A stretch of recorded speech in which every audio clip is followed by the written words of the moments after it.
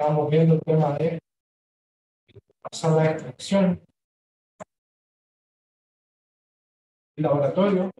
¿Vimos algo en el laboratorio?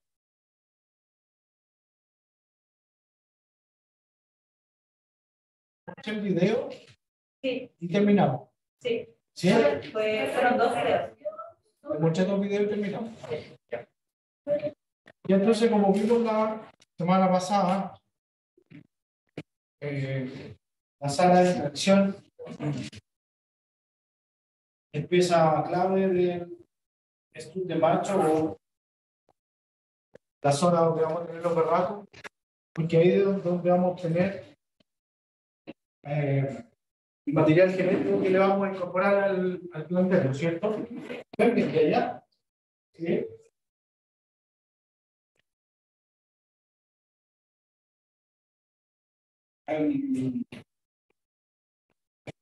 Y bueno, las características ya las vimos la semana pasada. Lo importante es que esté al lado de, o sea, está- debe estar dentro de donde están los berracos y al lado del laboratorio de inseminación artificial. Tiene que ser fácil de limpiar, desinfectar, y no sea un lugar donde pase gente y los cerdos puedan estar tranquilos cuando tienen que hacer su monta. El piso no tiene que ser resbaladizo. Y todas las características que hablamos la semana pasada, eso me acuerdo. Respecto del laboratorio de inseminación artificial que tiene que estar pegado a la sala de extracción, pero tiene que estar pegado, pero no conectado, sino que tiene que tener una pequeña vía o una pequeña ventana por donde ingresa el semen, quizá lo único que ingresa. Porque cada vez que entra un operario, si es que el mismo que hace la extracción, tiene que cambiarse la bota o ponerse eh, otro calzado, o ponerse cubre calzado, ponerse un delantal, cosa de que lavarse las manos, obviamente, cosa de que él no sea un contaminante, ¿no es cierto? ¿Ya? Tiene que ser en general como todo el laboratorio, con superficies lavables desinfectables. ¿Mm? Tiene una temperatura que de 20 entre 22 y 24 grados para que las dosis no tengan shock, shock térmico, un, shock de frío. Porque en, un laboratorio, en el invierno, en el sur pueden haber fácil, no sé, 5 grados. Y exponer a esa temperatura a los espermatozoides no es ideal. Bajo 15 grados los espermatozoides de los cerdos sufren shock térmico. Por tanto, no quedan aptos para la inseminación.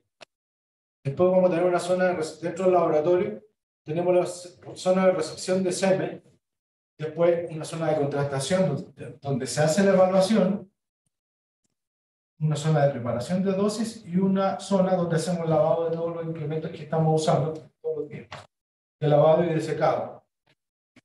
Básicamente es como una cocina. Entonces, en este caso aquí les tengo una foto Aquí está el ingreso, por esa ventanilla ingresa el semen. Seguramente la zona a donde está el berraco debe ser inmediatamente al lado.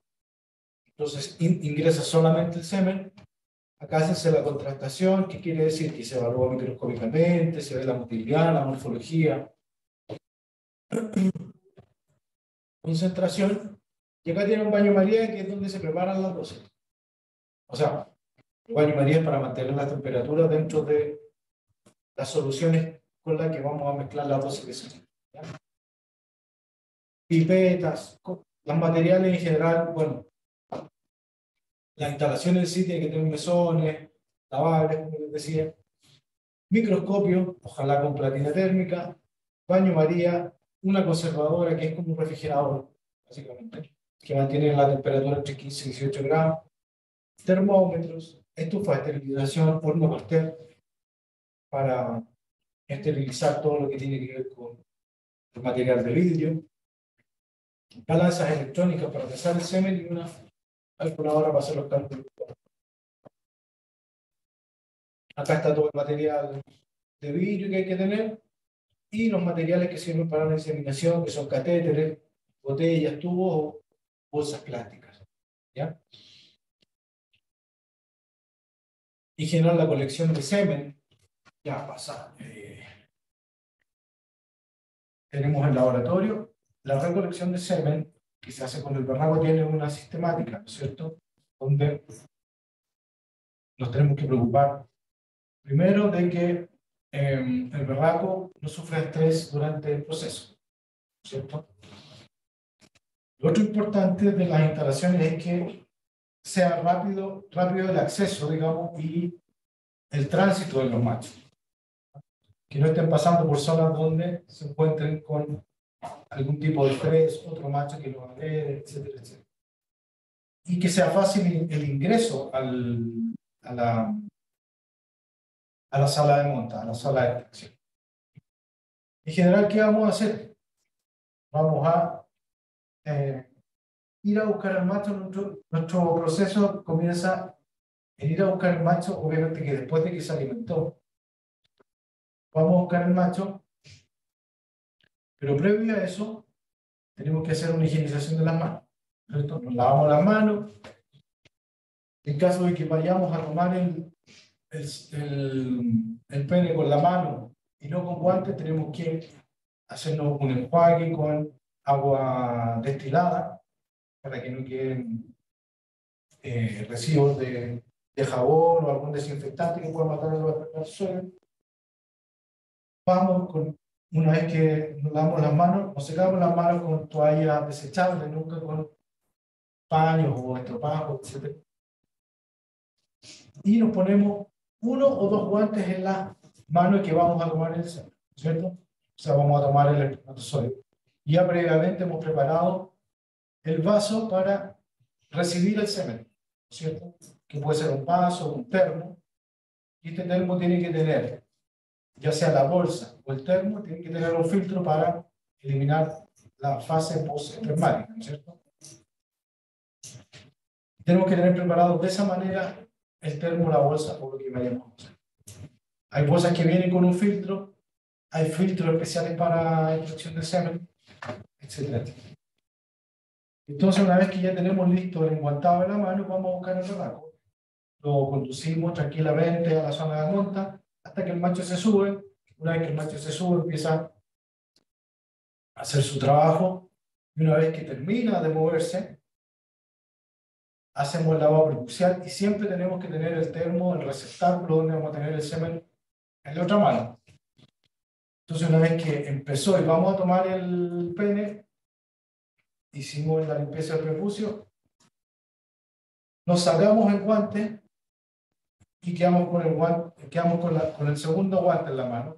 O si quedamos a tomar con la mano sin guante, nos sacamos el guante de igual manera, el primer guante y quedamos con la mano libre, digamos. Pero todo lo que hicimos antes no nos va a contaminar. Esa es ley. Por eso se llama la técnica de doble. Acá tenemos una muestra de los, eh, de los maniquíes que se usan Importante también es la alfombra, por la, donde el berraco se va a, se va a sujetar. Pueden ser eh, maniquí fijos al piso, como estos, o pueden ser movibles, como este que está acá. ¿Ya? Para que este es para llevar, eh, para hacer las extracciones en los corrales de los machos. Entonces aquí está todo lo que les comenté recién respecto de cómo se hace eh, todo el proceso previo a la toma de muestra. Nunca lavar el pene en ese minuto cuando se va a hacer el, el, la toma de muestra porque puede quedar si lo hacemos con jabón o algún desinfectante, puede quedar residuos, entonces eso nos va a contaminar la muestra. ¿Ya?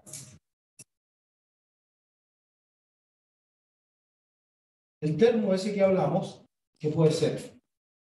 O sea que podemos tener diferentes formas de tomar esa muestra. Pues tiene que ser, tiene que caer en un espacio que esté templado, puede caer en una cuestión fría.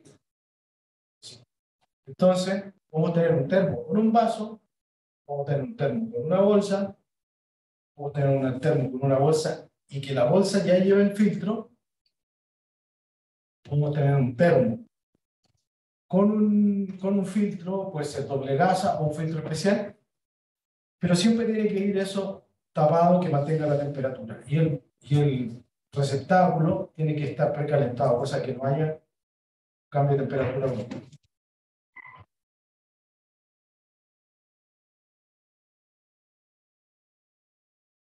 Es que el macho eh, sale del pene, se toma la... Es importante, sí, como lo veíamos la semana pasada. Toma, hace el lavado, toma el pene, espera que salga la fase preespermática y después de que empieza, cuando empieza a salir la fase lechosa, toma la muestra. Porque probablemente todo lo inicial esté contaminado, todas las bacterias del, del, de la uretra. ¿No es cierto? Entonces, por eso tomamos, esperamos.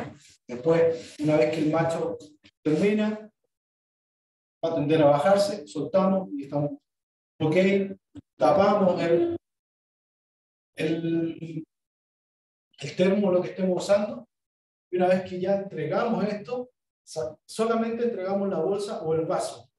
No metemos el filtro, cosas que estén contaminadas dentro de la.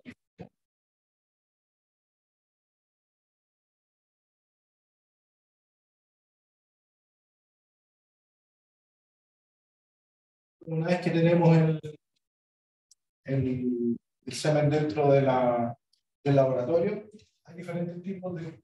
Esas mismas bolsas que tienen filtro, a veces tienen como una forma, no sé si han...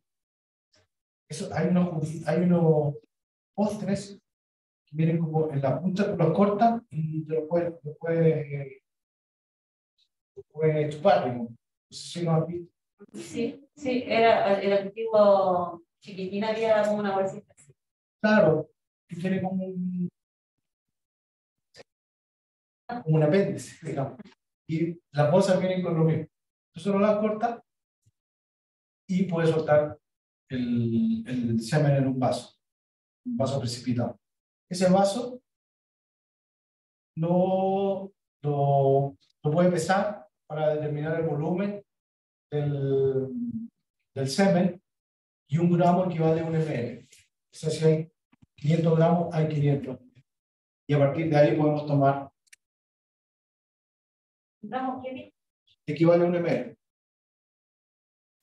Entonces, a partir de eso, de ese pesaje, podemos calcular la cantidad de dosis que nos va a dar ese.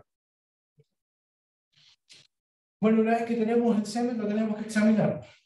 Primero vemos las cosas macro, que son el, el, el olor, el color.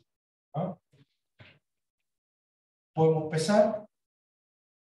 Después podemos medir la concentración, pero eso, parte de, eso se puede hacer ya sea por microscopio, que es más difícil, o a través de un espectrofotómetro que nos va a correlacionar la opacidad del semen con la cantidad, o con un número que nos va a indicar la cantidad de espermatozoides que tiene ese Mientras más opaco, mayor cantidad de dos eh, espermatozoides se supone que va a tener ese, ese, ese, eyaculado. ¿Mm? ¿Ya?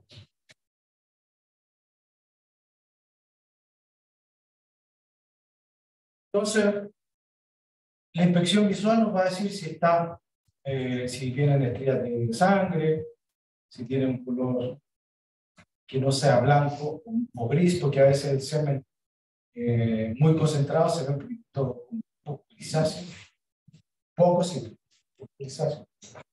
Pero amarillento no se ve nunca, todo lo que tenga olor, amoníaco, etcétera, etcétera, debe ser descartado.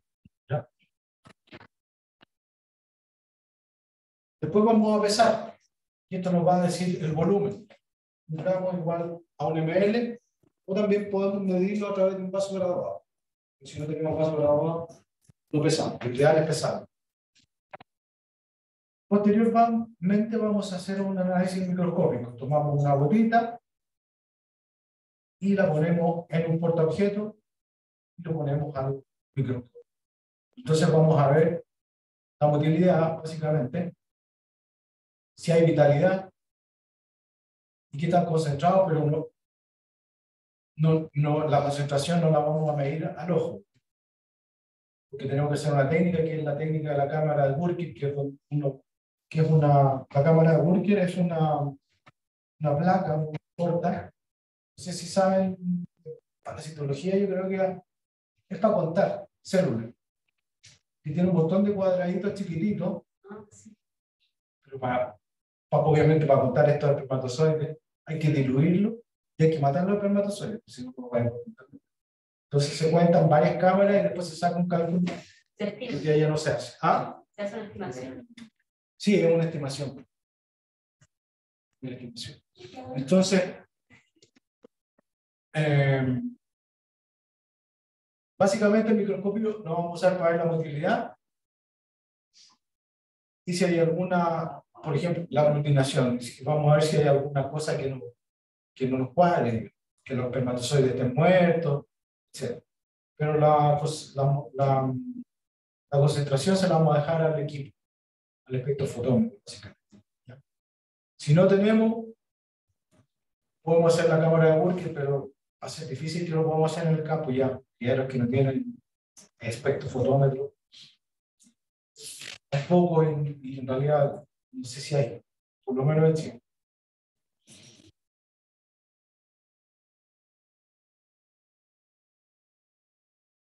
Bueno, ¿qué guía para el examen microscópico? Vamos a utilizar el aumento de 10 o de 40. El aumento de 10 básicamente para ver el movimiento de masa. Y el aumento de 40 ya podemos ir visualizando los espermatozoides individualmente. Por lo menos que podamos ver la cola y podemos ver hacia dónde se está moviendo. ¿Mm? ¿Ya? La temperatura de la platina entre 37 y 39 grados. De todas maneras, si no tenemos platina térmica, tenemos que calentar los porta y los cubre objetos. Porque si no, si no los espermatozoides se van a aglutinar y van a dejar de moverse. ¿Ya? Importante, como les decía, ver el, eh, no ver un espermatozoide, sino que poder ver la cola, identificar la cola y el, la cabeza de los espermatozoides. ¿Ya? En caso que esté muy concentrado, se puede diluir. La idea, igual va a bajar la capacidad. Ojalá siempre verlo de forma, de forma eh, cruda, digamos, sin, sin dilución. Porque nuevamente la, la dilución tiene que estar a la misma temperatura, el, el espermatozoide se tiene que acostumbrar a su nuevo ambiente, entonces vamos a esperar más tiempo. ¿Ya?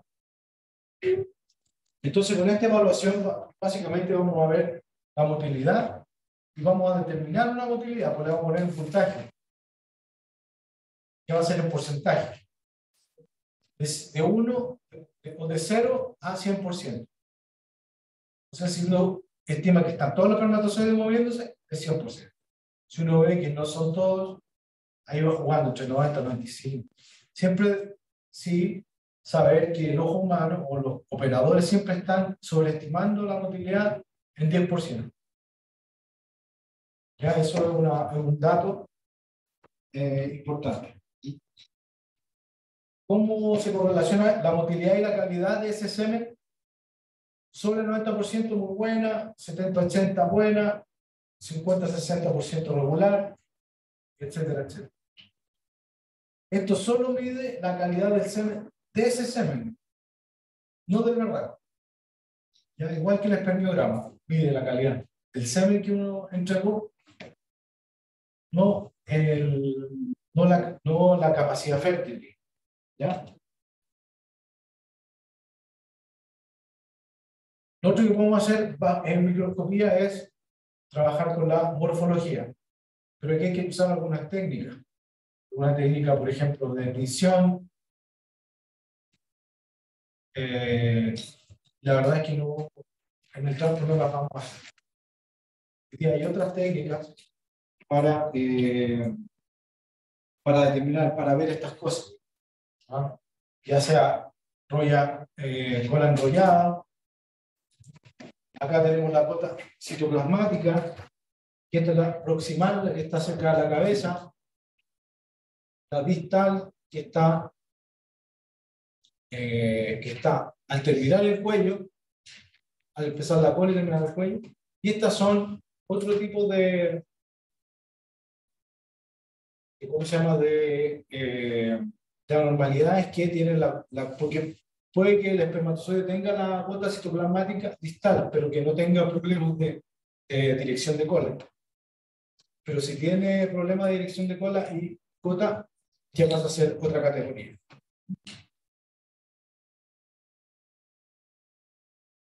Si tiene alguna pregunta. ¿Cómo lo hacen en el campo para pensar? No se ve. Solo hacen así como. Se ve la motilidad básicamente, la concentración. Es muy difícil evaluar, uno generalmente castiga harto lo, lo, la dosis. ¿Eso no es tan relevante de la fertilidad? ¿Qué cosa? Sí, pues depende de la cantidad. Por ejemplo, si tienen, si acepta un 16%, pero el 16% uno lo va a ver. Uno lo va a notar. Generalmente lo que más va a ver son las gotas citoplasmáticas. Por ejemplo, 30, si hay un 30% de anormalidades en las dosis, la capacidad reproductiva es reducida. A tener 30 de 100, es harto. Estamos hablando de muchas gotas citoplasmáticas, muchas con la enrollada, eso se va a ver. Pero cuando uno quiere medir más fino, es más difícil. Hasta un, hasta un 5% es aceptable, entre un 1 y 5%. No habría efectos sobre la fertilidad o la prolificidad. Mayor al 50% de normalidad, o sea, la mitad, ya el macho es inferior. Acá tenemos una clasificación, no, no es en orden de importancia, sino que solamente es un código de todos los efectos que podría tener, o de todas las de todas las de todas las eh, observaciones que uno pudiera hacerle a un ser.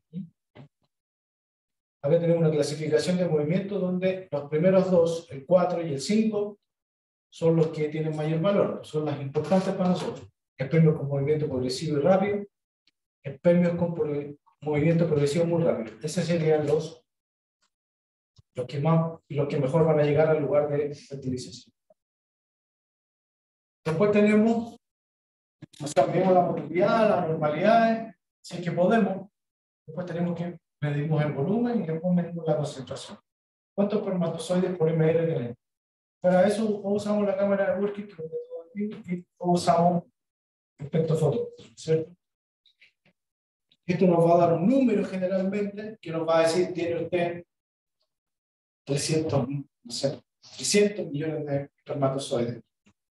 Su, su, su, ¿cómo se llama? Su, su semen tiene esa cantidad.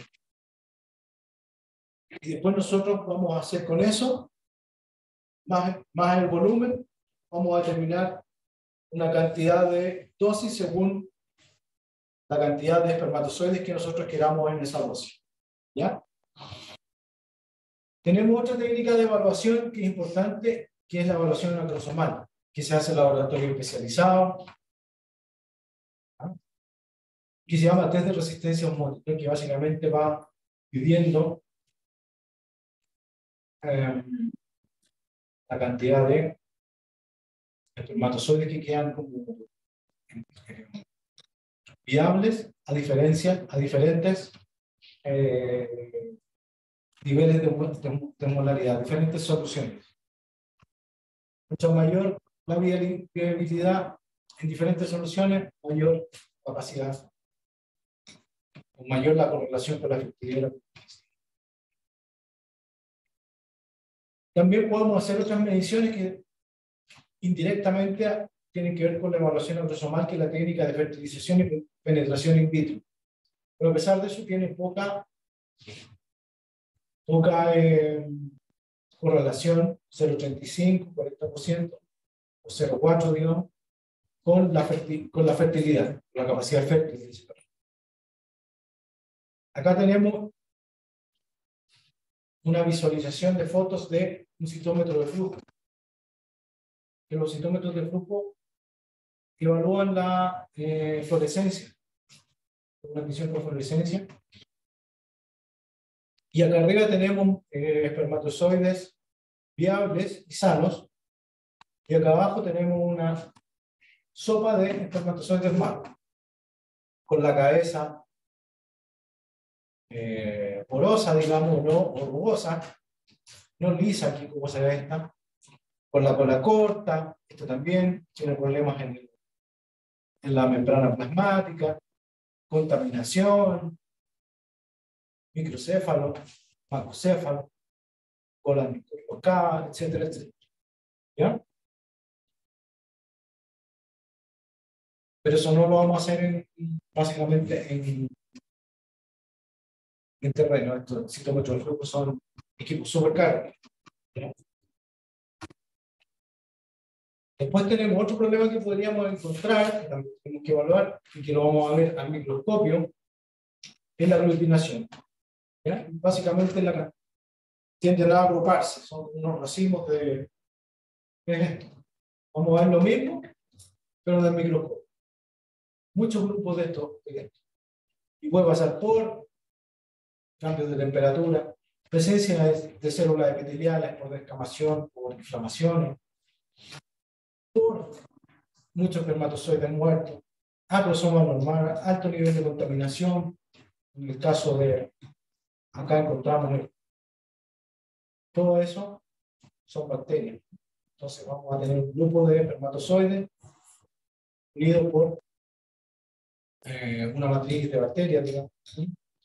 Cambio de flujos de temperatura, como les decía, cuando uno pone una, una, una gota en un, en un porta.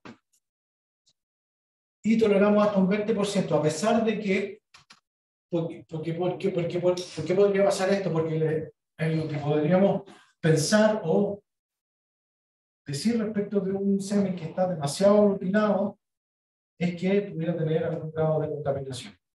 Por eso es el 20%. Que a pesar de que puede existir aglutinación, no se ha visto una relación con la fertilidad o la cantidad de nacidos. Pero sí podríamos sospechar de que está contaminado.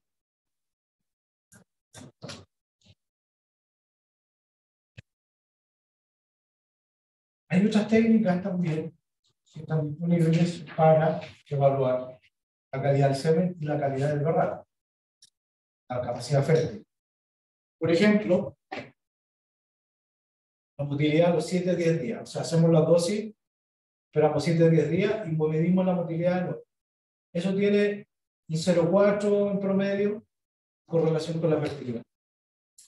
La morfología de la colección, tenemos que tener un equipo para eso. 0,51 la correlación con la fertilidad. La gota citoplasmática, tenemos que tener un equipo, 0,25 no es tan alta. Estructura del DNA normal puede llegar hasta un 0,91 de correlación con la capacidad fértil, pero para eso tenemos que tener eh, cómo saber si el DNA está normal o no. Hay un equipo que se llama DNA counter, ¿cierto? Eso lo que hace es montar los espermatozoides se, tiñe los espermatozoides normales, pero tiñe el DNA. No. Y ese está disponible, ese te, te, te puede medir eh, la cantidad de, ADN normal, pero también hay un equipo a ver Proteínas de la membrana, ubiquitina, adherencia al ovocito tiene una alta correlación con la capacidad fértil, 0,8. Pero aquí, bueno, la fertilización in vitro formación de pronúcleo, 0,35 a 0,41 de correlación con la fertilidad. Yo, si tuviéramos que hacer algo en el campo, probablemente haríamos, vamos a hacer solo la motilidad día. Si tuviéramos que mandar a hacer una, una evaluación probablemente la adherencia a su propósito sería la prueba, el 0,8. Si es que quisiéramos, por ejemplo, saber si el berraco eh, va a ser un buen reproductor o no, aquí no, ahí le condicionamos.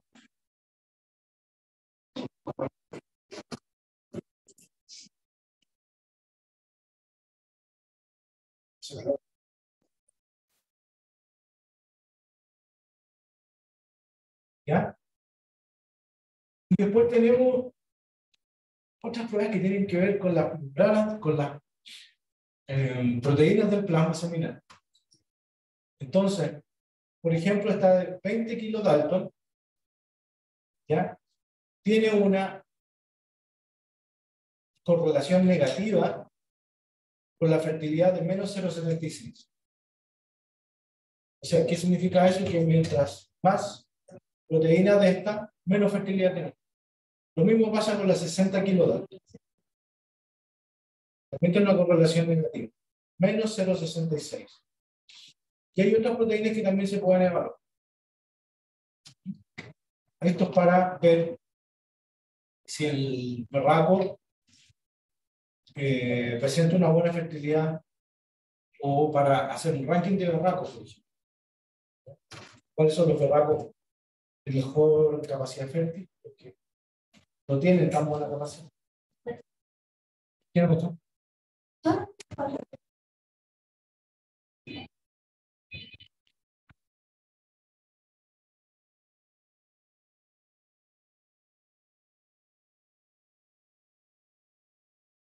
Bueno, una vez que tenemos el volumen de eyaculado, tenemos el número de espermatozoides, la concentración, podemos, teniendo claro cuántos espermatozoides por dosis necesitamos, vamos a calcular.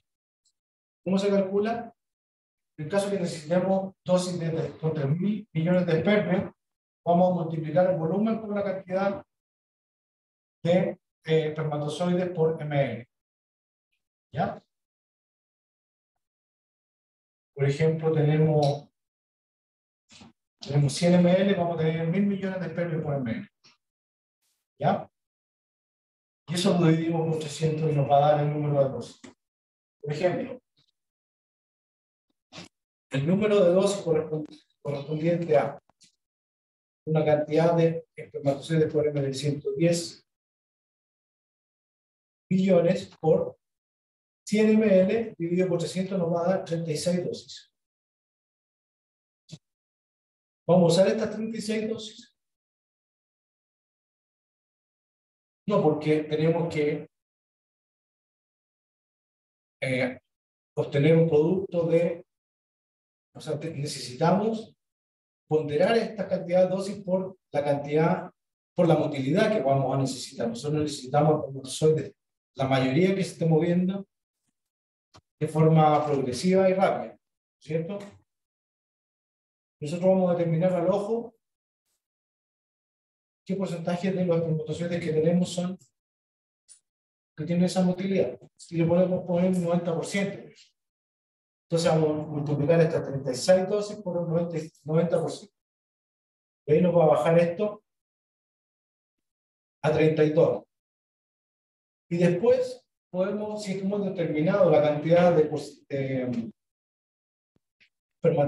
anormales, un problema morfológico, le restamos ese porcentaje, pensando que no más de un 5%. Después vamos a tener que estimar la cantidad de diluyentes. Tenemos las 36 dosis, por ejemplo, eh, por poner un número, y cada una va a tener 100 ml multiplicamos 36 por 100 ml y vamos a, vamos a dar la solución completa que vamos a tener que hacer. Y para saber cuánto eh, diluyente vamos a tener que necesitar, a esos 3.600 ml le restamos los 100, nos va a dar 3.500. Vamos a tener que hacer 3.500 ml de diluyente. Después le echamos los 100 ml y nos van a quedar los eh, 3.600 ml. Y ahí vamos a sacar 36 dosis de 100 ml. ¿Está bien? ¿Sí? ¿Ah? ¿No me crees? Entonces, después, bueno, tenemos una forma de evaluar así, digamos, de forma en terreno o artesanal, pero sí no tan tecnológica, pero tenemos opciones tecnológicas o más tecnológicas que son el CASA. que es un sistema computacional para la evaluación seminal, donde vamos a medir la motilidad, la concentración y la morfología, de forma más, eh, más certera. ¿ya? ¿Qué hace este equipo? Bueno, básicamente es un microscopio, una cámara, un transductor y un computador. ¿Qué nos va a dar? Primero mide cinco campos, ¿no cierto? Nos va a dar una media. Nos va a decir cuánto, qué, qué motilidad tiene, cuántos espermatozoides son móviles, cuántos se mueven rápido y cuántos tienen eh, progresividad.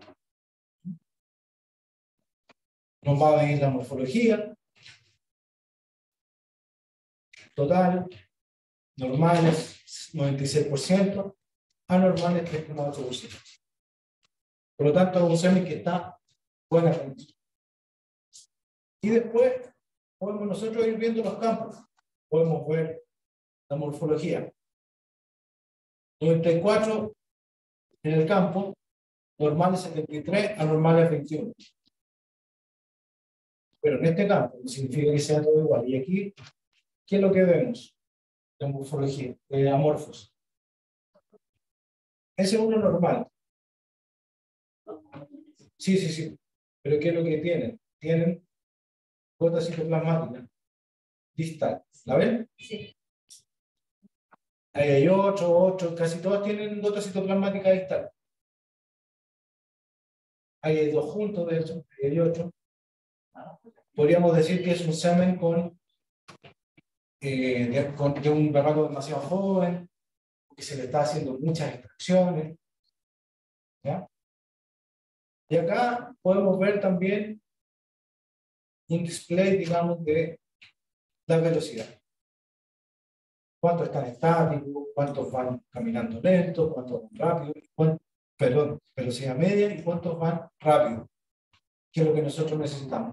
Y con esto tenemos, obviamente vamos a tener un cálculo de dosis muchísimo más certero. Que usa el microscopio, eh, medir la motilidad de forma eh, de forma subjetiva.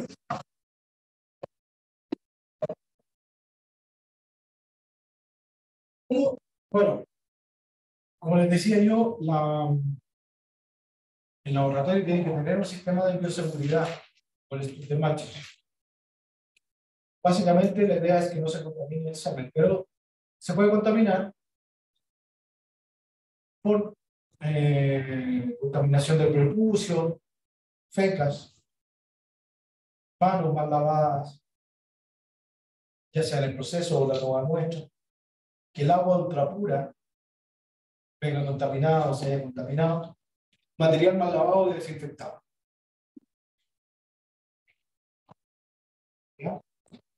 ¿Cuáles son las consecuencias? Descargas o eh, puede ser eh, endometritis, aumento de los días no productivos, cada día no productivo vale 2,5 dólares por hembra. No sé si pasamos del 18 a 19 días no productivos en el criadero, cada hembra va a gastar 2,5 dólares más. Tenemos que sumárselo al, al costo. Por lo tanto, es importante no ir perdiendo hembras. Cada vez perdemos una hembra, se va sumando al lote de hembras que están comiendo sin. Cada día no productivo son hembras que están comiendo ahí sin, sin estar devolviendo lo que, lo que invertimos nosotros día a día. Y tenemos una descarga. Eso es lo que uno ve. Realmente eso es lo que no tiene tratamiento. No tiene tratamiento. Eh, efectivo. Es aprobar un montón de cosas en una función. Como les decía, tenemos, ya tenemos la cantidad de dosis y después tenemos que diluir el ¿cierto? Y eso se diluye en un diluyente, con base en un diluyente. Puede ser ETA, que es una solución para mantención de fluidos biológicos, o puede ser un diluyente de corta duración, de mediana duración o de larga duración. ¿Ya? ¿Qué tiene este diluyente? Puede tener, puede tener eh, elementos especiales para la conservación de la membrana plasmática del semen, del espermatozoide, energía, glucosa, fructosa, etc. Electrolitos para mantener una presión osmótica adecuada para el, para el espermatozoide, buffer para neutralizar los desechos metabólicos y un antibiótico que inhibe el crecimiento de bacterias que pudieran haber llegado ahí. ¿Ya? No es tan fácil contaminar el semen. Así que si está contaminado porque está algo se está haciendo muy mal. O porque el barranco tiene una, alguna infección genital. ¿ya?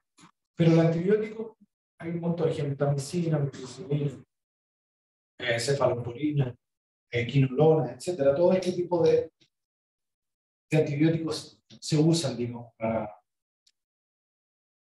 para controlar la contaminación, digamos, no es para hacer tratamiento. Bueno, generalmente eh, estos vienen en un sobre con un sobrecito un juguito o surco. Se corta y dependiendo del semen, de, perdón, del diluyente, va a requerir temperatura o no. Hay diluyentes que no requieren temperatura. Generalmente se hace a 32 y 34 grados, idealmente. Más fácil la mezcla, se diluye antes. Hay que, hay que hacer una mezcla homogénea. Y algunos diluyentes hay que esperar 30 minutos hasta que se estabilice el pH. Y hay algunos que no necesitan eso. Se pueden usar al tiro. ¿Ya? Lo importante es que si ya lo tienen hecho, el diluyente no lo ocupen máximo de un día para otro. Máximo 24 horas, ¿ya? Que lo mantengan en frío. Que se puede contaminar, se puede contaminar. ¿ya? El agua, que es una... El agua ultra pura que usamos, que puede ser agua de supermercado, por ejemplo, agua benedictinos, por ejemplo, se puede utilizar, ultra pura. Tiene que tener una o también puede que nosotros mismos tengamos una, un destilador, digamos, en, en el laboratorio. Estos destiladores de osmosis inversa que sirven para generar agua ultra pura. Y eh, tiene que tener una conductividad de un microsiemens por centímetro un pH entre 5 y 5,7, un recuento bacteriano para cero, unidad de formar por ml de 0 a 10, y una presión osmótica de 0. Esas son las características de nuestra agua.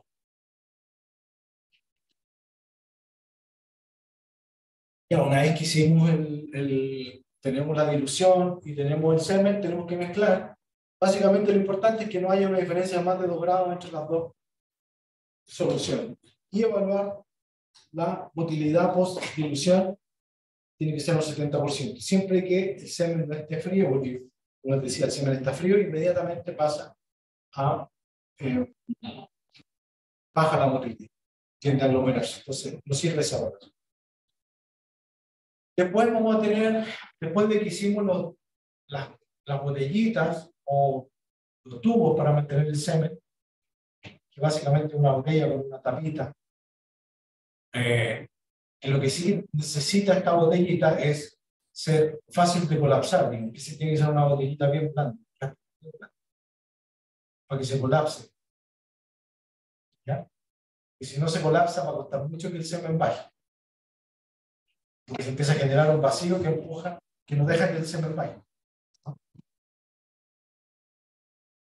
La preservación entre 16 y 18 grados básicamente es un refrigerador adaptado que tiene un, termostato y lo mantiene entre, 16 y 18. ¿Por qué 16? Porque llegar a 15 es muy riesgoso. Es fácil que el, que el refri, digamos, responda a temperaturas de 14. ¿Ya? Fácil que la temperatura baje, especialmente cuando hace frío y no abre los ¿Ya?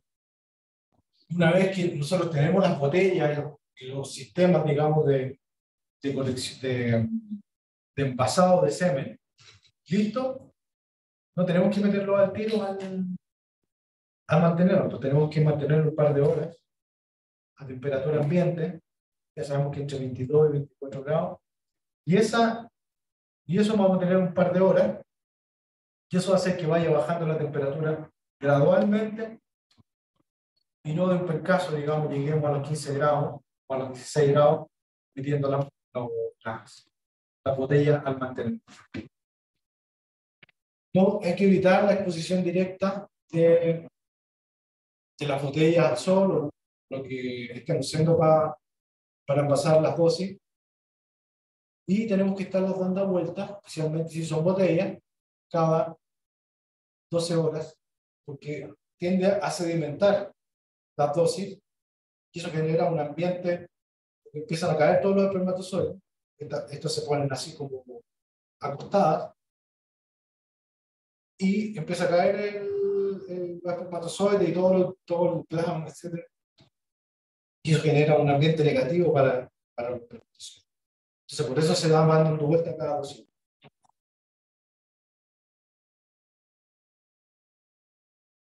Tenemos cinco minutos. ¿Ya? Yo estoy voy a votar.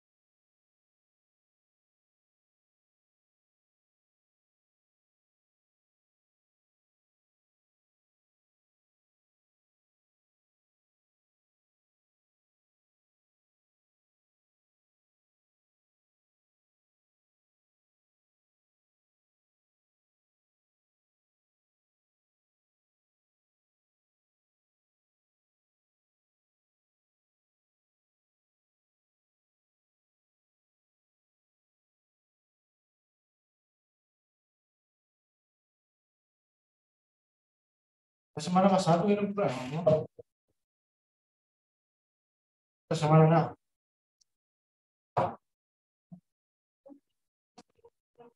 Ayer tuvimos prueba de semiología. ¿De? Semiología. Semiología. ¿Quién hace semiología? Ahora estamos en otro portón, estando uno. No, no, Freddy. Rubio.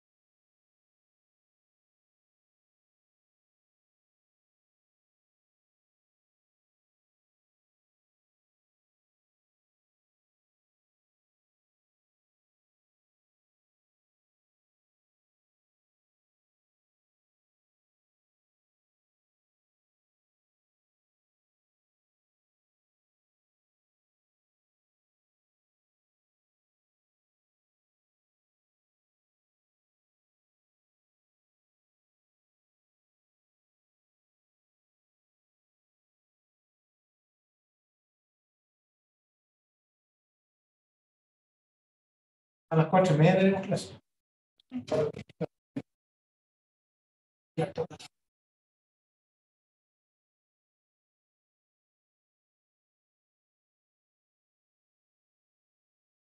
¿Y alguien ha ido a eso? Se puede ir. Uno va a visita. No deja. O sea, no sé, tendría que. Pero es depende, sí. Pero tomar muestra, a ver si me tengo que tomar muestra. De hecho, tengo que tomar muestra. ¿De qué? De la artista. No. De diarrea de hecho. De hecho. Si quieres hacerme ese favor. No, la una visita.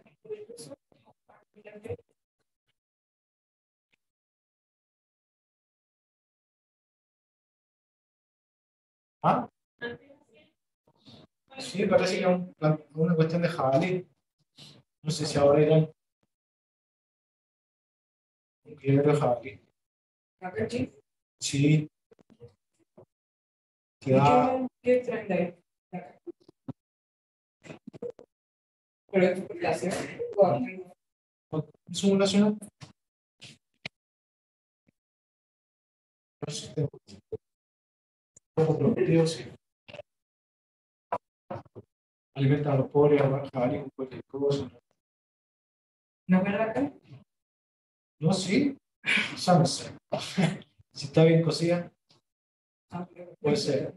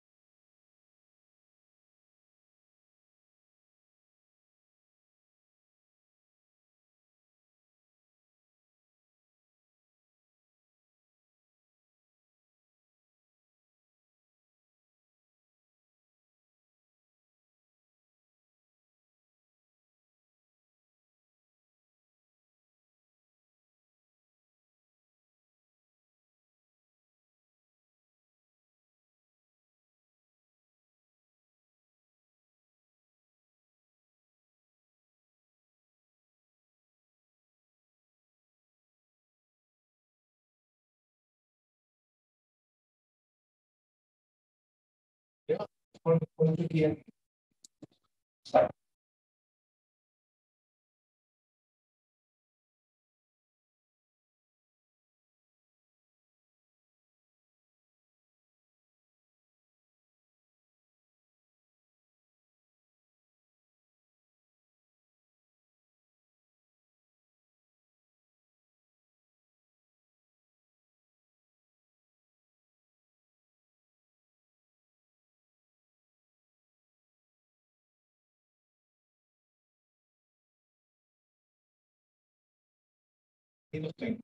Vamos a ver diseminación postcervical. Que siempre los muestro es un bien que es mucho más, mucho más práctico que estar hablando e imaginándose la cuestión.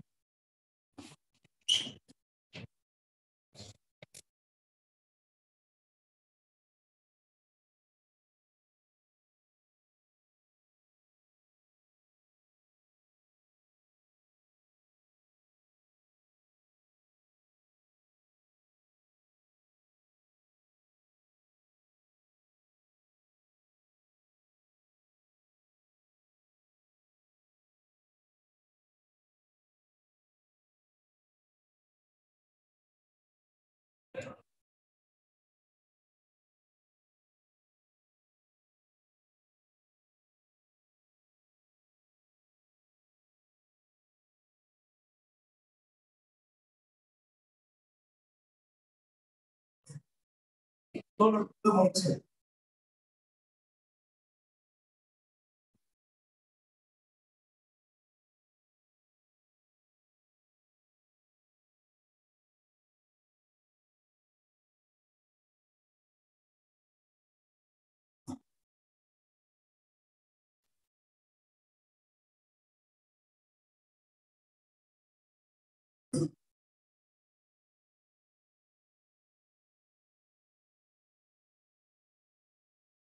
Ustedes van entendiendo.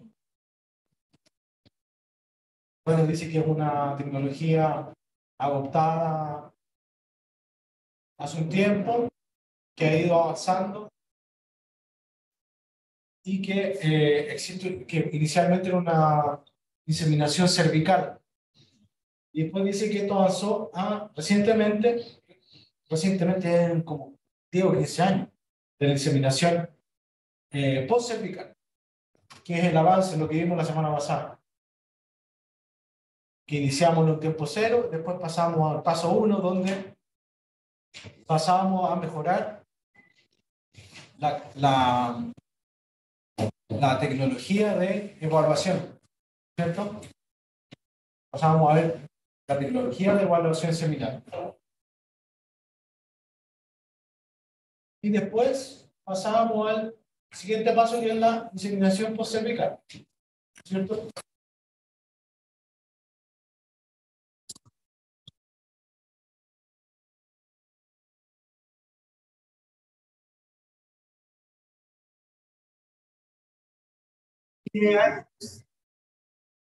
es la inseminación intrauterina.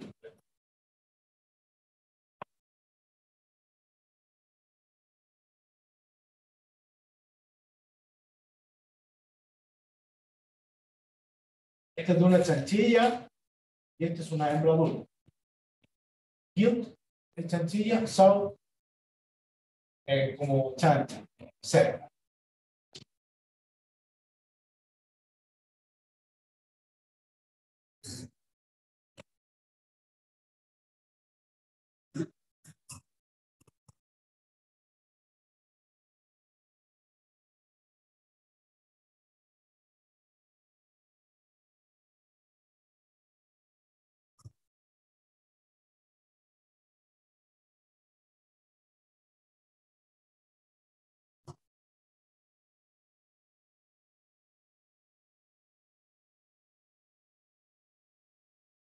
Mira esto, cuando uno hace la inseminación intrauterina, en adultas no se, en adultas se puede hacer, en chanchillas no, porque en chanchillas esto está mucho más cerrado. Cuesta mucho meter el, la sonda, que ahí, se la van a mostrar después. Entonces, eh, tú puedes hacer generar algún trauma, alguna lesión a la chanchilla. Por eso no se hace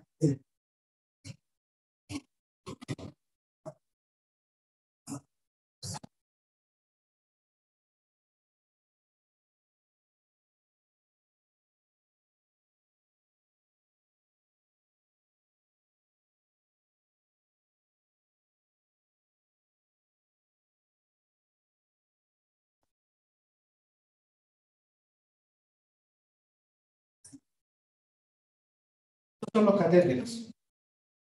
¿Qué diferencia el catéter de inseminación intrauterina de inseminación eh, cervical? Que el de intrauterina tiene esta sonda. Para llegar más. Es, el de inseminación cervical es igual. Todo igual, todo igual, todo igual. Que este es un, no sé, pues este es un espiral, este es un foam tip, este es otro tipo de foam tip, este también, que es de militube, este es un, no sé, raro, o marciano, y esto, y, y cuál es, ¿qué se le agrega a la inseminación eh? Esta sondita que lleva el semen más adentro, ¿ya? que lo lleva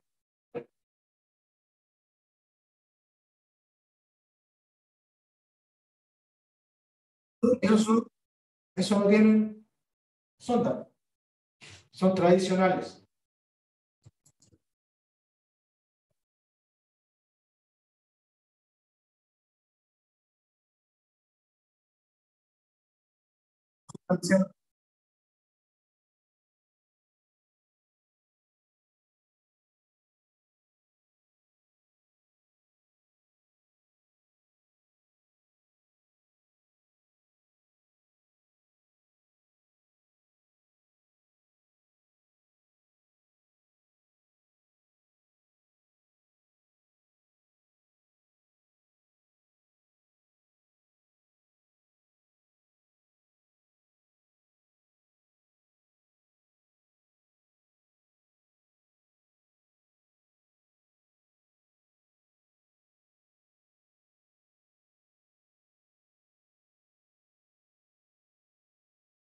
Es que estas tres hembras ya están detectadas de ser. Pasaron hace, hace más de 40 minutos, estas hembras fueron detectadas de ser. Desde que cuando haces inseminación intrauterina, tienes que pasar con el macho por acá adelante, detectar las hembras y esperar 40, 45 minutos. ¿Ya? ¿Para qué? Para evitar que haya mucha movilidad en el útero. El macho. Entonces detecta y te llevas al macho. Cuando es una inseminación cervical, tú detectas el celo y dejas al macho aquí. ¿Ya? De hecho, estas hembras que fueron detectadas de celo pueden esperar hasta la tarde para ser inseminadas.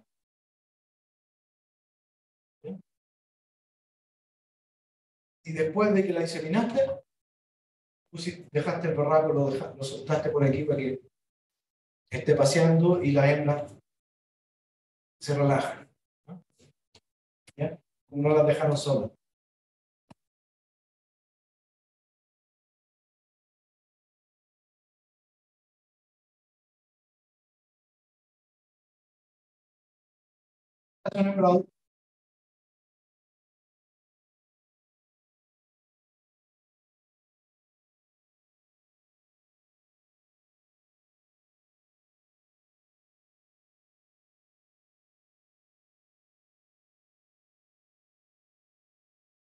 Entonces, ella seleccionó la hembra, ya sabe que está en el celo, mete el catéter, no está el macho.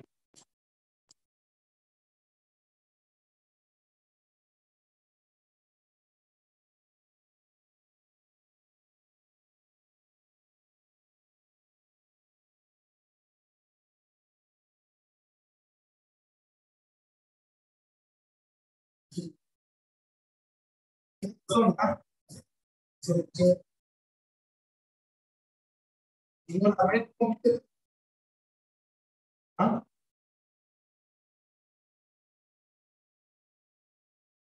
Hasta ahí, hasta la primera presión.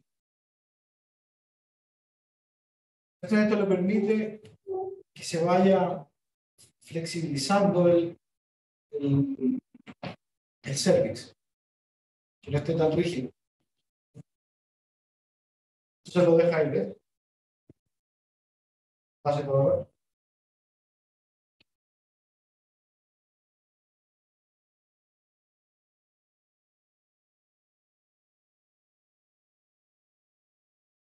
El fly. Y de repente cuando te encuentras con, un, con un, algo muy difícil de pasar, sacas, vuelves, o incluso poner un poco de, de, se- de, de de la botella,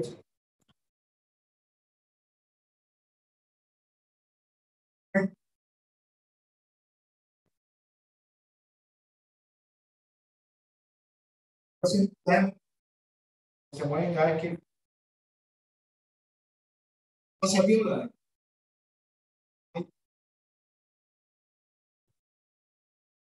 Esos son los criterios de potencial. Ahí, para una hembra, puede ser 60 ml, ¿ya? menos de lo que usa uno en una inseminación cervical, que no son menos de 25. Entonces ahí, ahora, ¿qué es lo bueno que tiene esta inseminación? Que uno puede obligar a la, la dosis a entrar, puede apretar. Entonces demora mucho menos en que la dosis entre.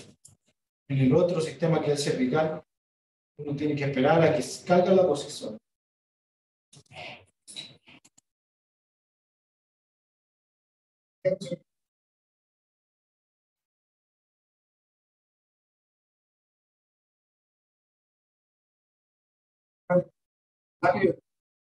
Y se devuelve. Entonces hay que esperar, acomodar de nuevo y volver a meter.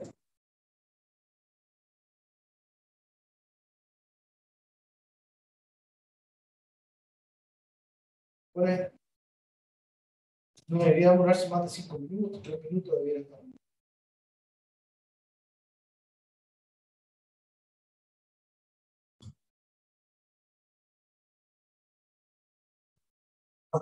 Eh, ah,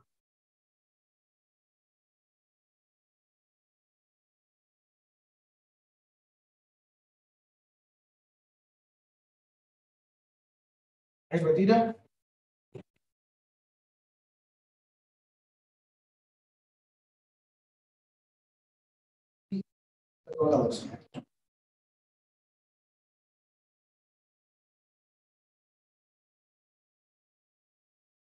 Todo al tiro. A veces tú puedes sacar esto y esto tiene una tapita y lo dejas. Y después, bueno, generalmente es- cae solo. Cae solo la va a sacar.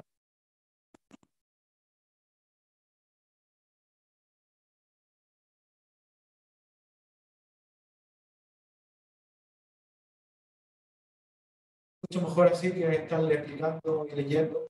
Mejor así se.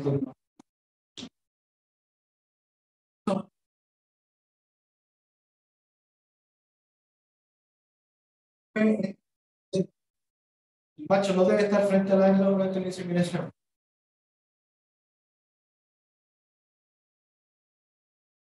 Es diferente a la eh, inseminación en cervical.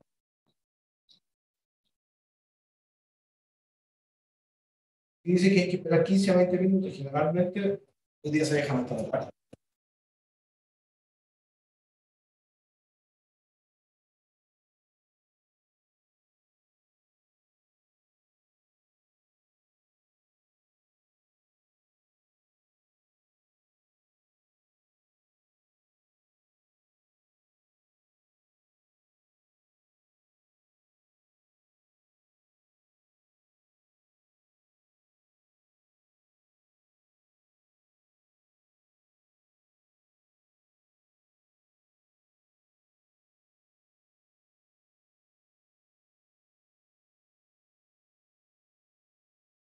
Para conversar.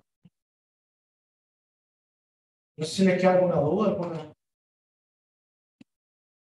consulta. Ahora podemos comenzar.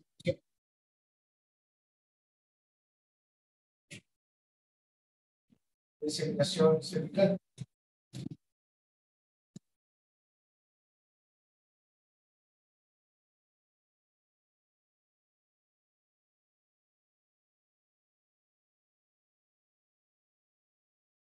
¿Habías visto una inseminación antes? ¿De cerdo? ¿Ah? En cerdos no. No es una cosa tan dificultosa. No hay que saber detectar los celos. No sé, si no se sabe detectar el celo, eh, se pierde todo, todo el trabajo.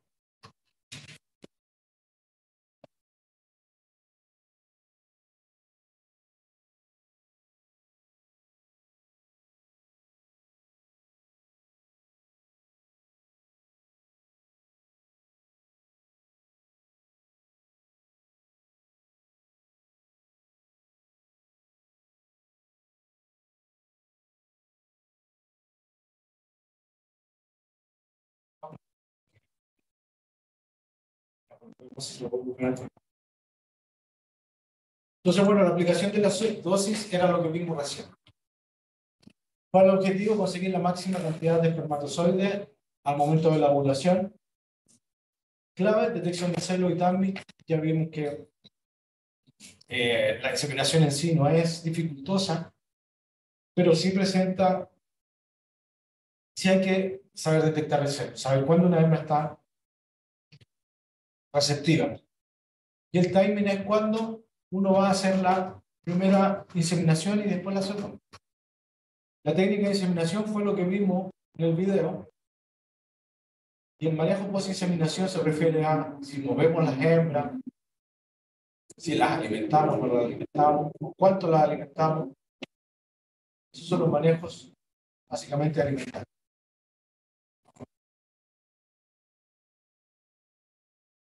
La detección de celo determina el momento de la inseminación. ¿Cómo se hace la detección de celo? Tenemos que ver eh, las, demostraciones físicas que hay. Básicamente, edema vulvar, secreción, que se deje montar por otras hembras, que tenga el reflejo de movilidad cuando nosotros la tocamos en el lomo, tiene algunas vocalizaciones características, pero que no las vamos a andar buscando. Es más, más complicado que los otros, que los otros sí. Bueno, como decía, la conducta sexual, búsqueda de berraco, monta a otra hembra, eso es pre, ese es el, pro, el proestro, previo a la inseminación. Y el reflejo de, de, de, de inmovilidad o inmovilización lo, podemos determinar a través del el macho o el hombre. La hembra ve al macho y se va a quedar quieta. Va a parar la oreja y va a tomar una, una, una forma así redondeada del lomo y muy parado, no hay, no hay como mover. Y en el caso del hombre, bueno, nosotros podemos tocar el flan, el, los flancos, el lomo, la vulva, etc.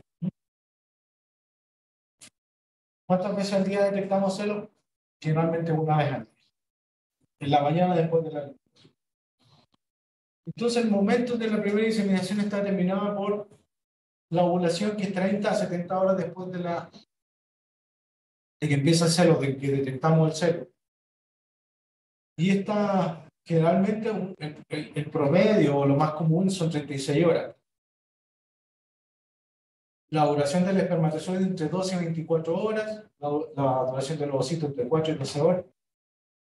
Y eh, recomendamos una vez al día por un tema, detección de celo, una vez al día por un tema de, que ya no tenés gente para estar dos veces al día moviendo el macho.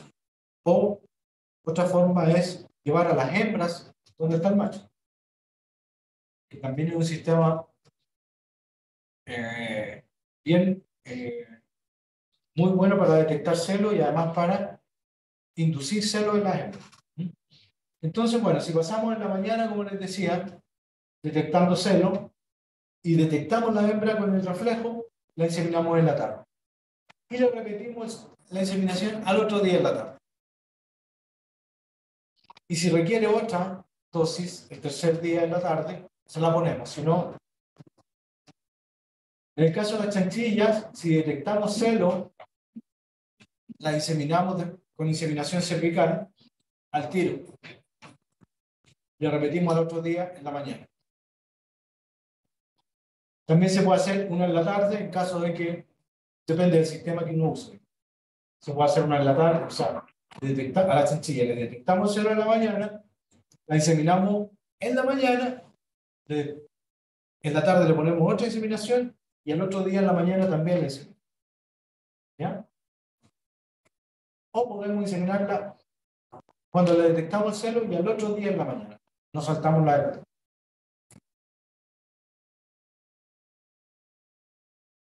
En el caso de la inseminación cervical, nosotros, al revés de la inseminación intrauterina, lo que se hace es esperar, no esperar más de 20 minutos después de detectar el celo para hacer la inseminación. O sea, se detecta el celo y se insemina.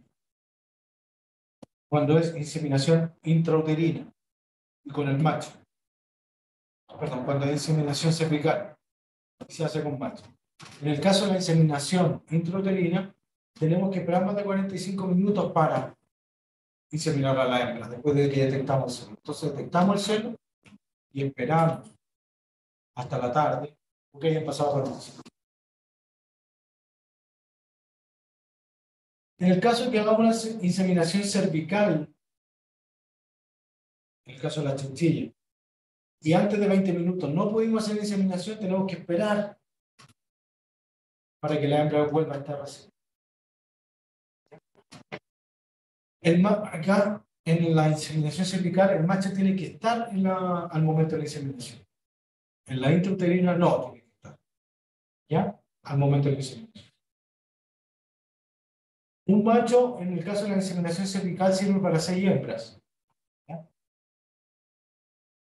En la inseminación intrauterina, se hace sin macho, o sea, detecta el celo con macho, pero después el macho se va. Hacemos la inseminación, el macho no está. Podemos poner al macho después de que inseminamos un par de horas para mejorar la conducta de la hembra. Entonces, bueno, la técnica ya la vimos. ¿cierto? Tenemos dos tipos de técnica, que una es la cervical, que se pone aquí ese- el catéter, y tenemos una que es intra o cervical o intrauterina, que vamos a poner la dosis acá, en el cuerpo del útero. Vamos a avanzar como 20 centímetros. Que el, que el semen no va a tener que, que hacerlo. ¿ya? Entonces, ganamos tiempo, ganamos espacio. Van a haber mucha menos mortalidad de espermatozoides. etc. Respecto de la técnica en sí, la inseminación cervical, el semen cae por gravedad. En el caso de la inseminación intrauterina, tú puedes presionar la dosis para que el semen entre. Y bueno, los catéteres ya lo vimos. Los catéteres que se usaban, este es un catéter antiguo, el que está arriba que se llama Melrose, que es un catéter básicamente de que cuál es su gracia, digamos, que lo puedes esterilizar en autoclave. Entonces lo puedes reutilizar. ¿Cómo empezó la inseminación? Después pasamos a los catéteres eh, espiral, que se llaman, que tienen la cabeza espiral. ¿Ya? Después hicieron estos que son Fontip, que son con cabeza de espuma, o punta de espuma, que pueden tener esa tapa o no la pueden tener. Y, bueno, no sé si es lo último, pero este catéter se llama Jedis, que es un catéter donde tú tienes la dosis. ¿Se acuerdan que en el otro usamos una botellita para guardar la dosis? Aquí no. Tú puedes guardar la dosis en el mismo catéter. Esto es, esto es autoinseminación. Entonces, ¿tú qué haces? Llena este balón con, eh, con, eh, con la dosis, introduces todo el catéter dentro de la hembra. Y, una- y esto está tapado, obviamente. O sea, esta tapa hay que sacarla antes de introducir el catéter, pero aquí adentro hay, hay como un gel que con el calor hembra se va disolviendo y sale el, el- el- la dosis. Esto se llama autoinseminación. Lo único que hace es llenar esto y meter el carro. Una inseminación cervical con bolsa, con bolsa, no con botella. La otra tenía, ¿se acuerdan que había una botella? Esta tiene bolsa que preserva mejor la dosis. ¿Ya? Y tiene que uno mantener 45 grados entre, esta, entre el suelo y el ángulo del catéter. Tienen que dar 45 grados para que la dosis caiga de forma natural. Acá hay unos datos de, eh, de autoinseminación y, y, e inseminación convencional, una comparación.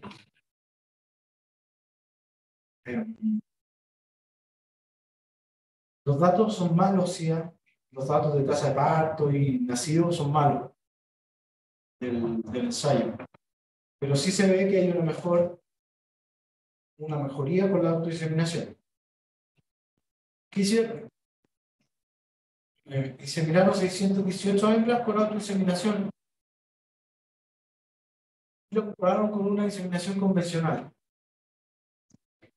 Del total de hembras inseminadas con autoinseminación, el 83.3% hubo parto. Así se le llama tasa de parto. Y en el caso de la conversación, de la inseminación convencional fue de 78.5%. O sea, hubo menos, salieron menos hembras de las que se inseminaron respecto de la inseminación. Estos datos son malos. Aquí, menos del 90% de tasa de parto no, no es una tasa de parto muy aceptada. Los nacidos también son malos, pero fueron muy similares en ambos casos. Los nacidos vivos también fueron similares. Y la paridad promedio de los lotes fue de 3,9 partos y acá 3,8, muy similar. Lo que varió de forma sustantiva fue la tasa de parto. Ambas. Eh, pero eso básicamente está dado por el momento de la inseminación, del momento de la inseminación y la detección de sexo. Pero ¿para qué sirve este y su autoinseminación? Básicamente para ahorrar tiempo. Para montar, aquí los resultados son, o sea, acá se eh, evaluaron 201 y 249 hembras. La tasa de parto fue muy similar, 88% para cada una. Los nacidos vivos fueron 12 y 13 para el o sea, un medio electrón más casi, más de medio electrón. Los eh, nacidos vivos fueron 11.5 y 12.2, medio electrón más para la autoinseminación. Y, eh, pero el tiempo gastado en inseminar 70 hembras para el clásico, para la inseminación clásica fue de 6 horas, en cambio para la autoinseminación fue de 2 horas que es mucho tiempo para sistemas donde la mano de obra es muy cara. Es un sistema europeo de inseminación. Y los datos, de, los datos productivos también son interesantes. Porque este sistema es dos o tres veces más caro que usar inseminación normal. Datos, otros datos que les quería mostrar es cómo, el, cómo varía eh, la calidad de la inseminación cuando tú usas semen de tres días de, o sea, desde, de tres días desde que, desde que hiciste la dosis o más de tres días después de que hiciste la dosis. ¿Cómo afecta eso en los parámetros reproductivos? Acá en el control se usó semen de tres días de edad de 3 y menos. En este grupo se, se utilizó de 4 y más días. Y en este grupo se usó semen de 4 más días, pero con inseminación intrauterina. Los resultados son los siguientes. Tasa de parto 79.3. Edad del lote 3,3 partos. Total de nacidos 13, nacidos vivos 11,1. Con el semen viejo, digamos, o de más de, o sea, de más de 3 días, de 4 más días, la tasa de parto fue de 56,6. Yo creo que, bueno, una cosa que tiene este ensayo que son muy pocas hembras. ¿ah? Son muy pocas hembras. Eh, la cantidad de hembras que se, se utilizaron son muy pocas. Lo otro que tiene que son diferentes los, las paridades. Pero los resultados son catastróficos para el semen de más de cuatro días, de cuatro días y más. Total de nacidos 9 versus 13, 8 versus 11. No usar semen de más de cuatro días, a no ser que tenga un diluyente de larga duración o extra protectivo. ¿ya? Y en el caso de cuando se usó este semen viejo, digamos, pero con inseminación intrauterina mejoró. Mejoró la tasa de parto, los nacidos también mejoraron, pero de todas maneras fue mucho, mucho peor que la inseminación con semen más fresco. Esto es para este ensayo. Se lo muestro como un ejemplo.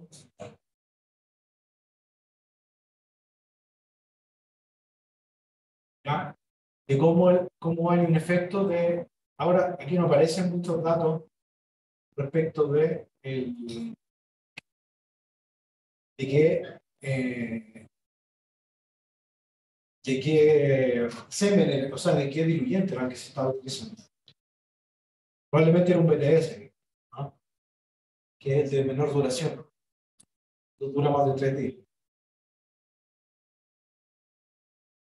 Bueno, el protocolo de inseminación cervical, se limpia la zona genital, se introduce el catéter, se fija el cervix, que era lo que vimos, se levanta, se pone el tubo y se mantiene 45 grados como les decía.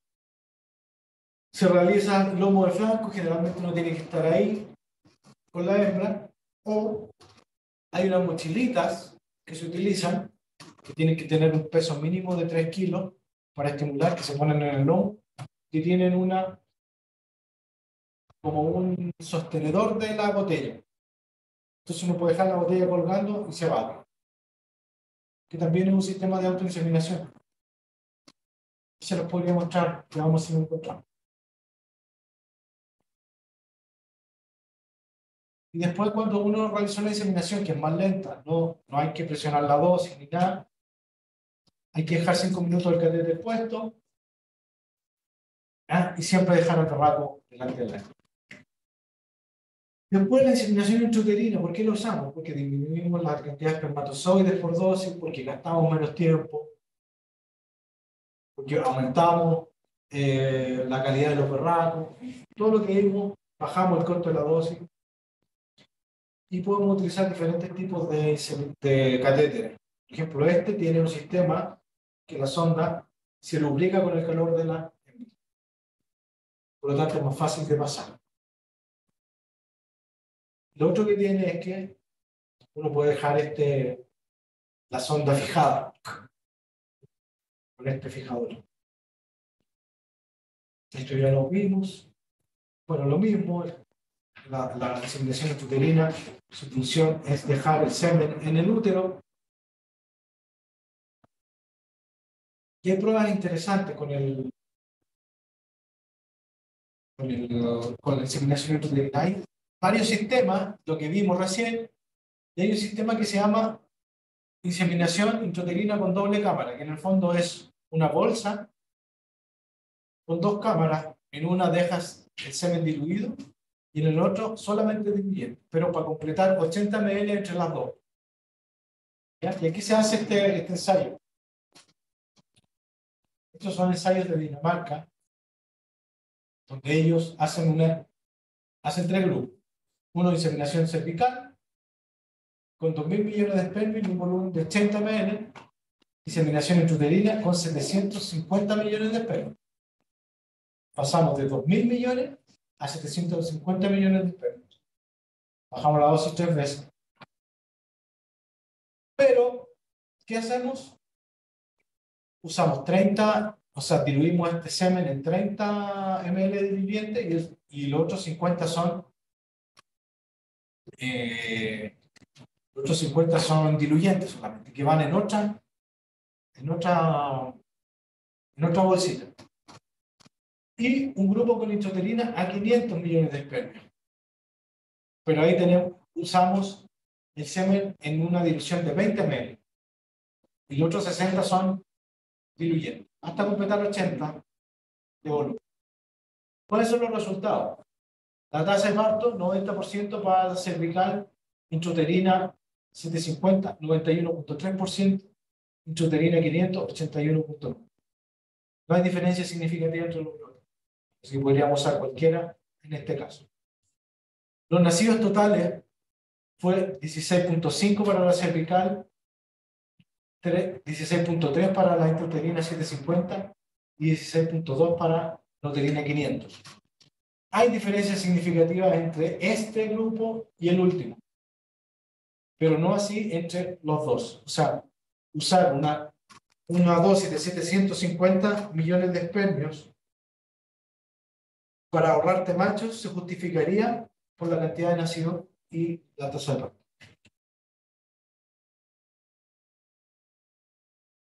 Para bajar la cantidad de berracos.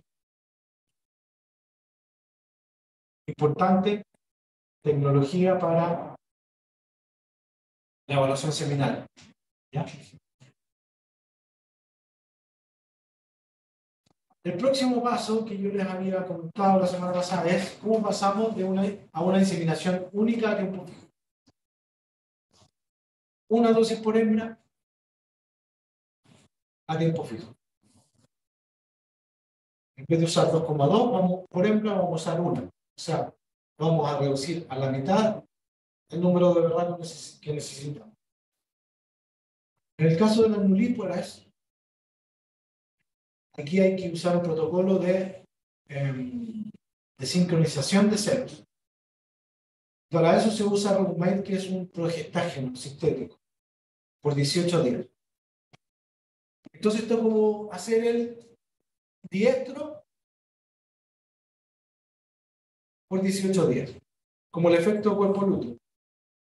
Entonces no van a presentar células, ¿cierto? Porque van a estar con progesterona. Se las quitáis a todas al mismo tiempo. O sea, va a tener en directo 18 días la hembra, y se la- cuando le quitas el producto, que se da vía alimento o oral, todas van a estar en el mismo minuto del ciclo. ¿No es cierto? Porque estamos asimilando el directo a todo el grupo de hembras, para 20. Van a estar todas en directo. Y le sacamos el progestágeno y empieza a subir los estrógenos, se produce todo el proceso, ¿no es cierto? Después de eso esperamos, ¿cuánto estamos hablando de? Eh, seis días, entre cinco y seis días, inyectamos el producto que es una, un, un análogo de hormona luteinizante, ¿no cierto? ¿Y qué hacemos? Inducimos el pic de LH y 33 horas después de que pusimos esa hormona, inseminamos. Una vez. Lo mismo se hace con las hembras, pero las hembras, usted sabe que tienen un anexo en la lacta- lactacional, digamos, se hace el mismo proceso. Pero se espera menos tiempo para poner el producto. 80 horas, por ahí. ¿Ya? Y hacemos el mismo proceso. Después ponemos la hormona luteinizante y seminamos 30 horas después. ¿Sí? Resultados que se han, han obtenido. 80 hembras versus 80 hembras. 80 hembras con control, 80 hembras con dosis única y la LH. Inseminaciones se hacen 2,1 por hembra y una sola con inseminación intrauterina. O sea, sí, es inseminación intrauterina. Se hembras montadas antes de los 7 días con el control 90%. Cuando tenemos este sistema con ovulación inducida, estamos hablando del 98%. Tasa de parto, o sea, perdón, de preñez, 91% para el control, 93% para la dosis, la inseminación única. Tasa de parto para, para el control 86%, 87% para inseminación. Nacidos totales 12 y 12, nacidos vivos 11 y 11. Dependiendo de las condiciones que tengamos de manejo, de gente, parece interesante utilizar este sistema. ¿Y cuánto vale esta famosa PLH? Si tiene que justificar en la tasa de preñez y en los nacidos. Y obviamente, lo que conversamos la semana pasada, en la cantidad de berracos y el índice de esos que se ha transferido a los lechones.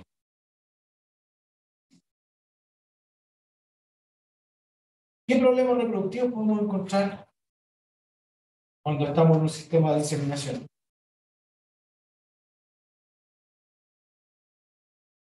Tenemos que la mayor cantidad de problemas reproductivos son por calidad de semen.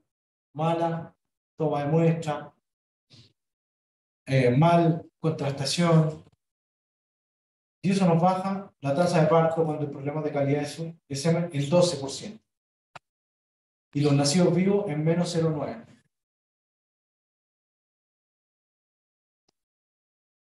Problemas de aplicación de la dosis, mal detección de cero,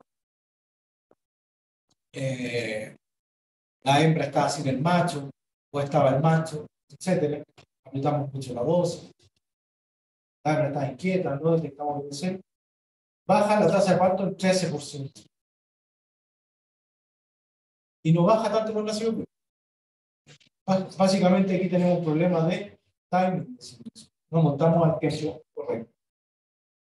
Y manejo post-inseminación, o sea, si la, vamos si la hembra estaba en esa jaula, acostumbrada a esa jaula, si la movimos, en qué momento la movimos, etcétera, si la movimos como en el día 15, cuando hay la implantación, y el estrés muy grande, probablemente tengamos algún problema.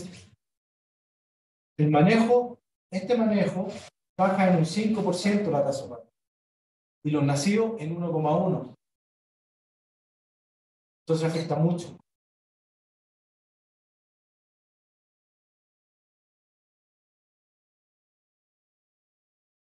Después de que inseminamos vamos a tener fallas, ¿cierto? Que pueden ser descargas o endometritis, que tienen que ser menos de un 1,5%. ¿Saben que este, esto está mal puesto. Eso tiene que ir entre repeticiones cíclicas y acíclicas. Vamos si lo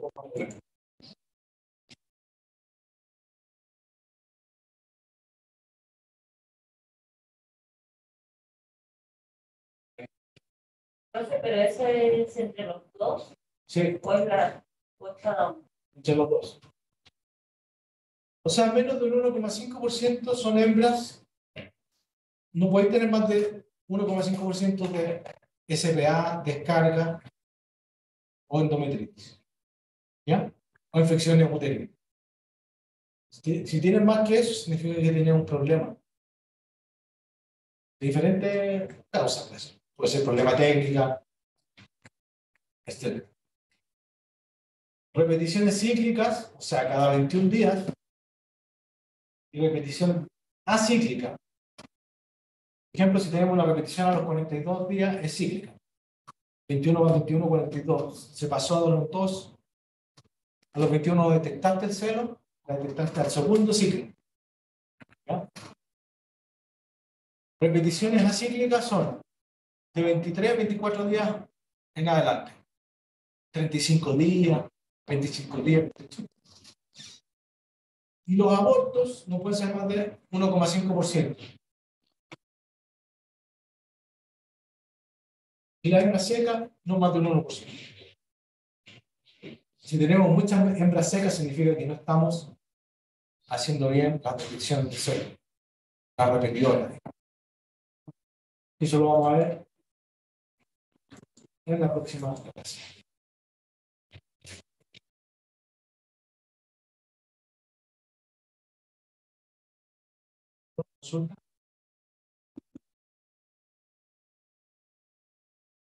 Voy a ver si hay.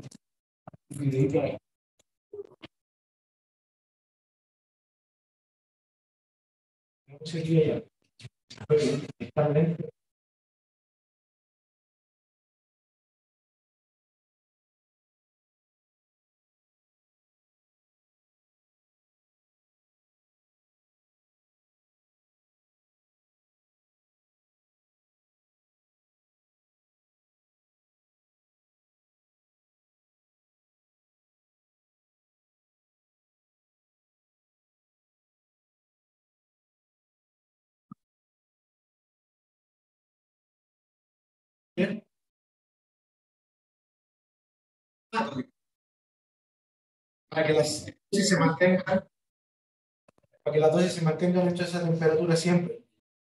No se vayan a enfriar o calentar. En este caso parece que es enfriar.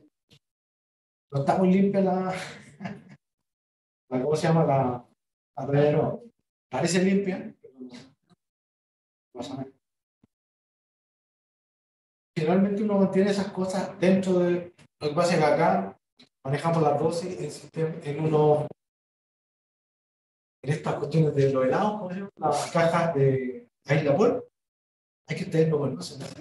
cuando los viejos se subían con cajas de helado a la reina ¿Sí? ¿Todavía existen? Eso. Todavía. Todavía. Y ahí están los que tener guardaditos. Generalmente son, estos tienen una envoltura individual para no estar abriendo todo que se pueda contaminar. Y ese es un spray marcador. Primera que yo te vi, igual que te. Para mantener.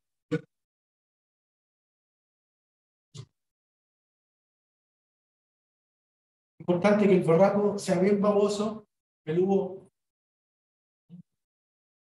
eh, a diferencia de, ¿cómo se llama? Metro, metrosexual, los hombres que son preocupados de Ah, los adonis. dones. Este tiene que ser al revés. Peludo, hediondo, bien baboso. Esta es una hembra y esta es machito.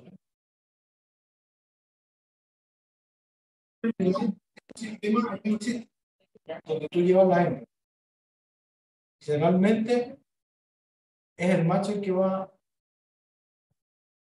hacer Entonces ahí el gallo en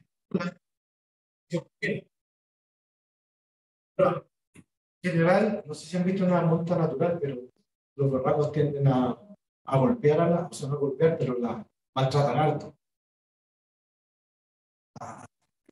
las cosas, digamos, en los flancos, maltratan alto. Y no se mueven, ¿sí no? Mueve. Este es un-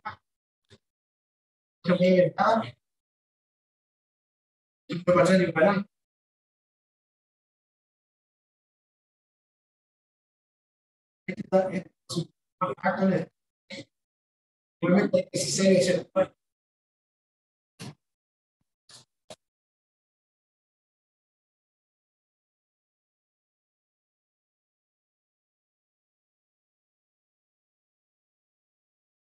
no se mueve. Eh, viejita. Ah.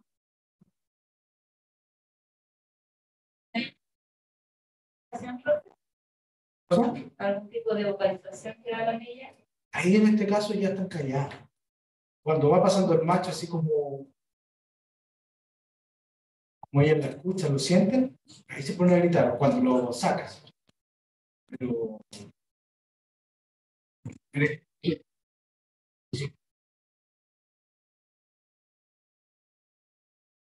entonces la hembra está lista. Se seca.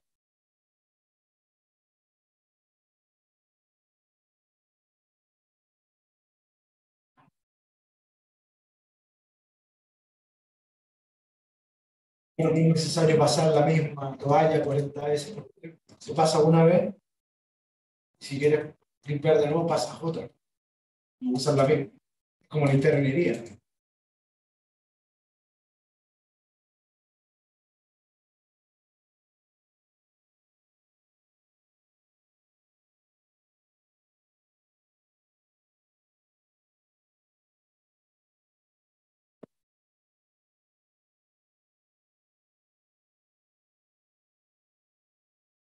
Uno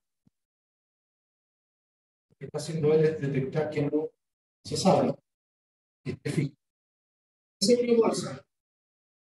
Esta era una botella.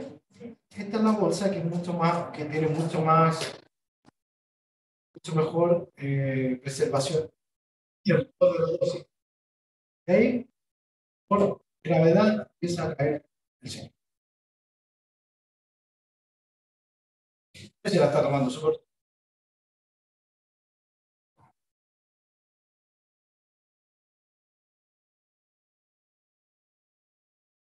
Es maestro que tiene súper. Sí, hace. sí. Hay una técnica que también se usa acá en Chile que es para dejar el catéter ahí para- Lo que quieran. Sí, negativo para que no se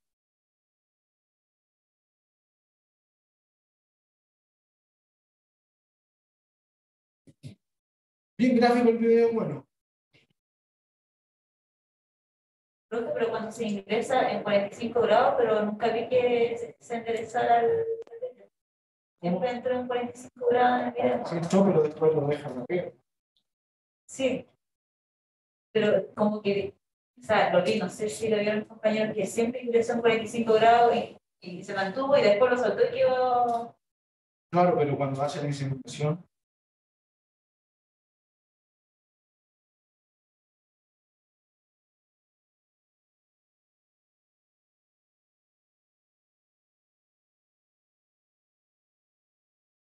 Siempre ingresó en 45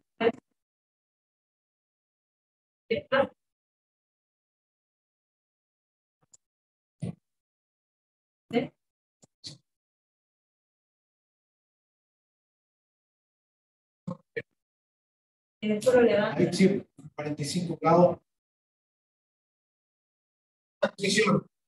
Sí, Ingresa. 45 grados para que caiga. Para que caiga.